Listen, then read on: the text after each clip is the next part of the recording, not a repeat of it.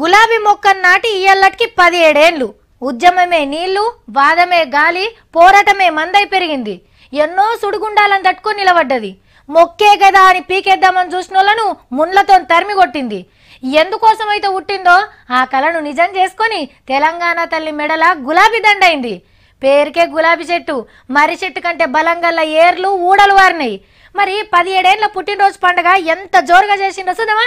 చలో కంపల్లి! జై తెలంగాణ! జై తెలంగాణ! అటెంక అమరవీరుల స్థూపానికి నివాళులర్పించి తెలంగాణ తల్లి మెడల దండేసిండు కేసీఆర్ సార్.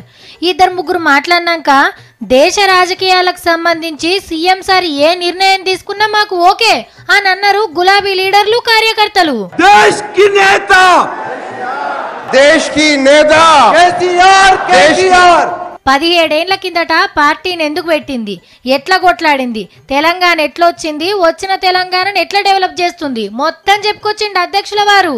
ఓ దిక్కు దేశమంతా ఇట్లా ఒగుడుతుంటే ఈడ ప్రతిపక్షాలు విమర్శిస్తున్నాయి అని గరమైండు ఉత్తమ్ కుమార్ రెడ్డి ఒకటి జ్ఞాపకం పెట్టుకోవాలి. టీపీసీసీ అని వచ్చిందంటే అది తెచ్చింది ఈ గులాబీ జెండా అని గుర్తుపెట్టుకోవాలని చెప్పి మనవి చేస్తా ఉన్నా.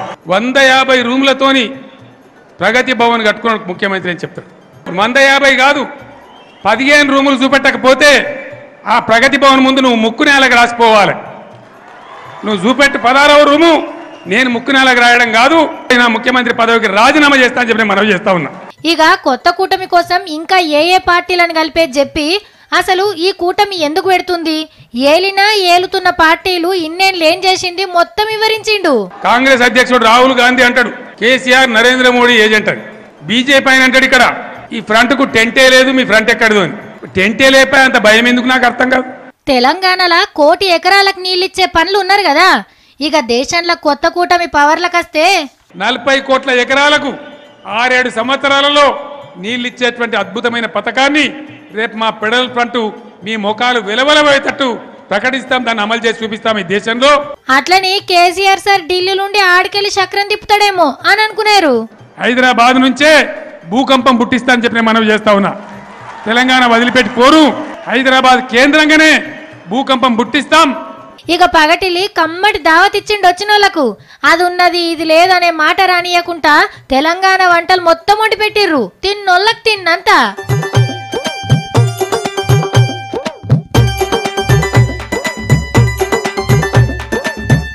సవలతులు కూడా మస్తు చేసిర్రు.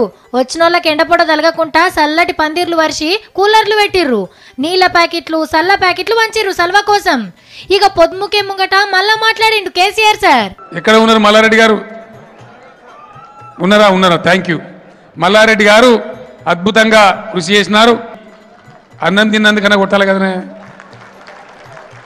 మంచిగా లేకుండా అన్నం. వారు మంచి రుచికరమైన భోజనం ఏర్పాటు చేసినారు.